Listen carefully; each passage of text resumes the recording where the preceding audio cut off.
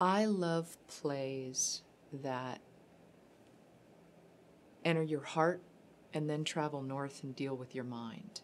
I like plays that are very specifically about a particular time, a particular place, a particular group of people, but the way in which the story is told feels completely universal.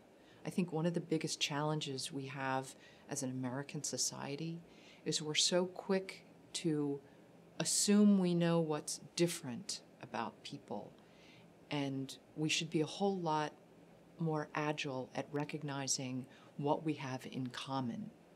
And a really great play doesn't preach at you, it reveals to you and illuminates you with the truth of how much you have in common with people you never thought you had anything in common with. Those are the kind of plays I hunt down, I direct, and I love being a part of.